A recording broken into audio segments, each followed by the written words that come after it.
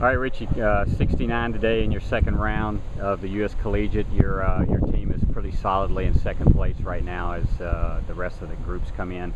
Uh, talk about your round today. What was I know you struggled a little bit yesterday. What did you uh, what did you find that gave you some success today? Um, well, you know, after yesterday, yeah, I didn't do too good yesterday. You know, didn't hit the ball very good, in my short game was pretty rough. So, uh, you know, practiced pretty much till dark last night, just chip, hitting a bunch of chips and putts, Mm-hmm. and seemed to, you know, get my tempo and some feel back down. So that helped a lot. You know, it's, it's kind of saved me today. I still didn't really hit the ball really good, but you know, having a good short game today really helped. I know the breeze was uh, was a big factor, you know, on the back nine or in the afternoon yesterday. How uh, how different was it today? I know it's still pretty breezy right now, but uh, how much of a factor was the was that today?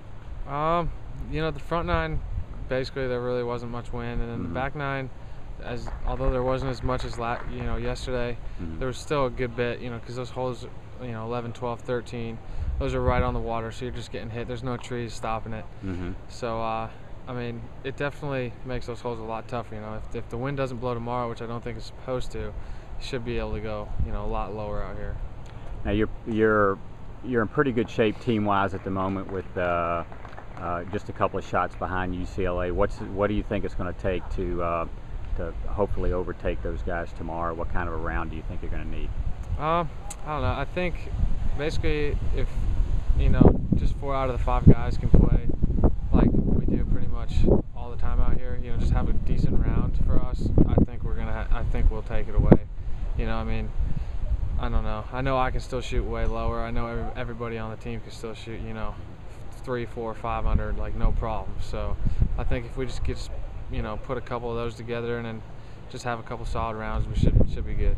Last year you had a pretty good 36 hole lead. This year you you're probably a couple shots back coming from behind. What is the uh, what's the mindset there? Uh, would you rather would you rather sort of be laying in wait, you know, and have a couple shots to make up, or would you rather have a lead at this point? Um, you know, it, I think it's kind of it's almost easier. You know, if you're chasing, Mm-hmm. you know, it, it's definitely harder to play with the lead. But when when we're in the lead, it's we don't really think about it like, hey, I wish we were in second. So right. you know, Yeah. we're good with both situations. But I guess if we had a, th- this is a good spot for us. Great. Good round today. Thank you. Thanks.